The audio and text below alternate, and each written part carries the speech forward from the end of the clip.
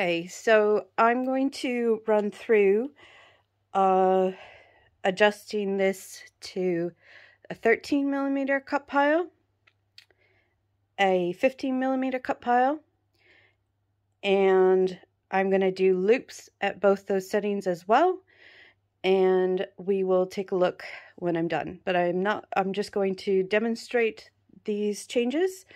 Um, and yeah, uh, hopefully between these videos and everything else you can follow along.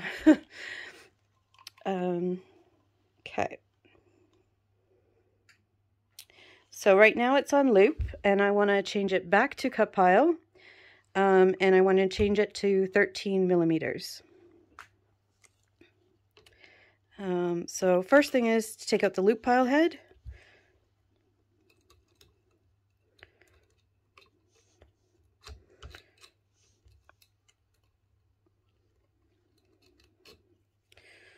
Exactly like what we did before, but this time we're putting the scissors back in. Okay, so we're going to loosen that. And we're going to loosen this.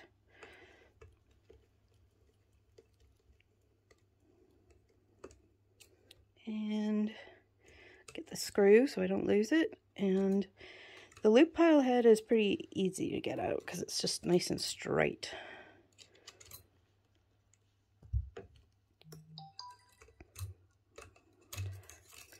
So we'll put that over there with the scissors and we'll bring the scissors back. Make sure the scissors are closed.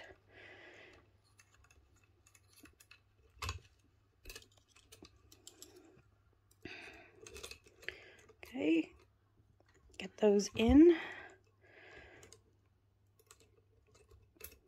And, whoops.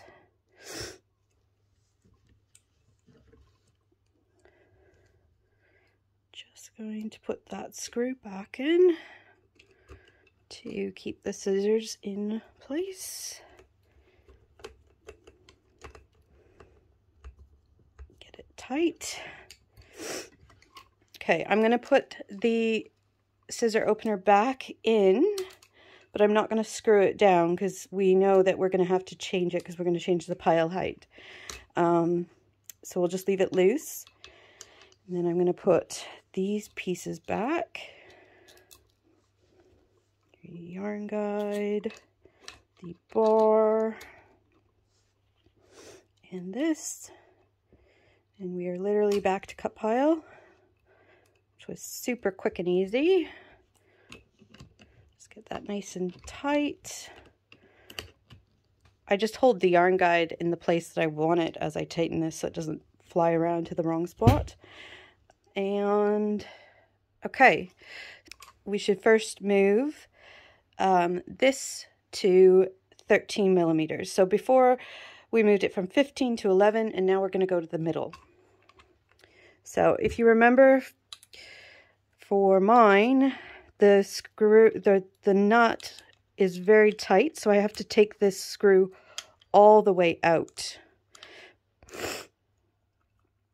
Whereas some machines you may not have to because the it, you might be able to just scoot it along um, without actually taking everything apart. And actually, I think I just did scooch that along to where I wanted it. Just trying to check. Yeah, I did. So probably as I move this more in the channel, um, you know, they everything becomes a little bit looser. So that's probably why that allowed me to do that.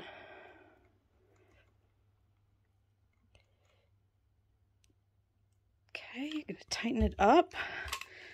Now I'm just going to check I'm on the middle groove and I'm just double checking that my washer isn't going to cause any issues.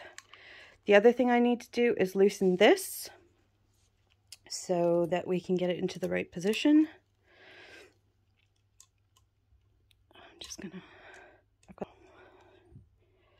Okay, so now that that's loose, we should be able to rotate to make sure. Yeah, so now I can rotate the gun. So that means that um, this uh, yeah, it's, I don't know what to call it. The piece that this, this screws into um, is flush. Um, so it's not sticking up and causing any, um, any problems. Okay. So now I'm going to go to my trusty sheet where I have um, figured out the where this piece should go and where this piece should go.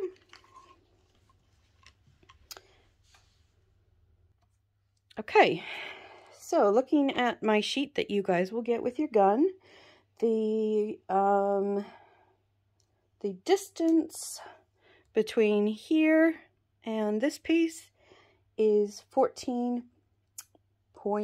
Is that correct? Yes, 14.2. So let's set this to 14. Right.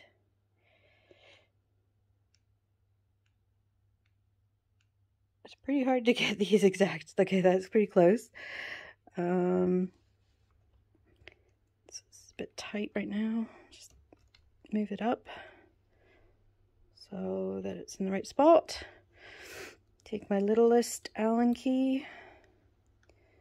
Oops. Screw that into place. Just double check that it's nice and straight. That's not quite straight actually.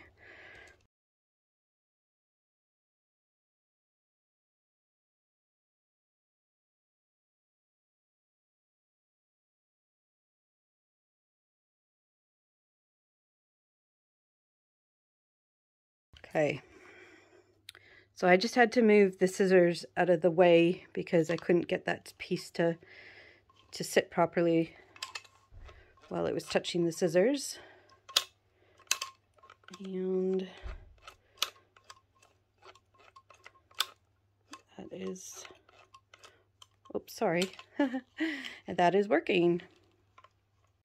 Okay, so I know from my little sheet that this piece needs to be out. let's pull the scissors back, um, 2.6 millimeters above this. So that's a not a very large amount at all. A little bit higher than that.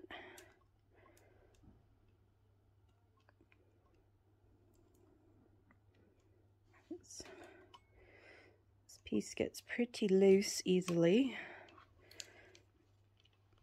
So what I'm going to do is I'm just going to tighten it a little bit so that I can then sort of nudge it where I want it to go. Okay. Okay, so that's 5.2, so that's too high. Just give it a little loosen, push it down, tighten. That's going to be too low. 2.2. Ah, just a little bit higher.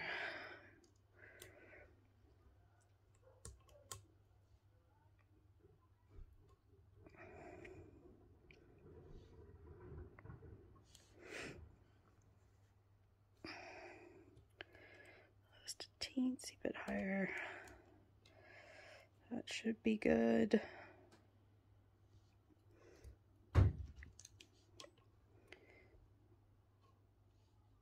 2.8. Let's just double check that. 2.7. So that's pretty close. Um, the way we'll know for sure is that if the scissors close. So I've already made sure the scissors are opening fully. So you can see them opened fully there. I think. And they close fully at the top. So we're all good and everything feels nice and smooth. So the last step again is this distance. And we are at 13. So this should be 13. So it's at 12 now. So we're going to have to just uh, inch it back a little bit. So if you remember, that's when we take this bottom piece off.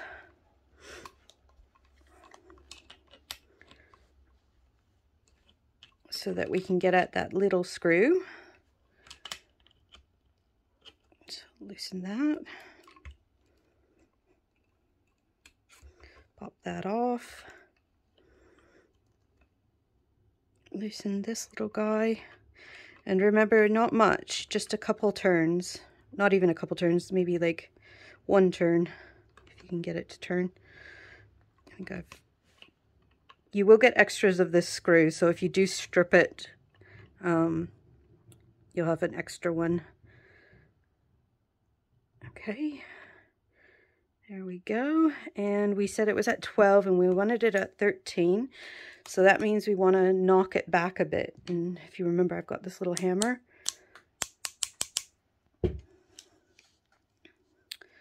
I'll measure again. It's at 13. So that is bang on. That's what we want. So I will tighten it up and give it a go.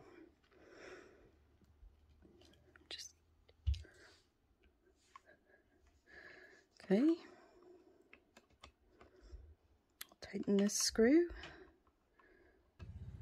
I think we've got that now. Feels nice and tight. That's not going to loosen. Put the bar back on.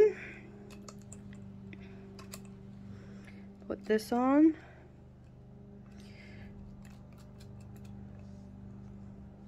Again, tighten it up.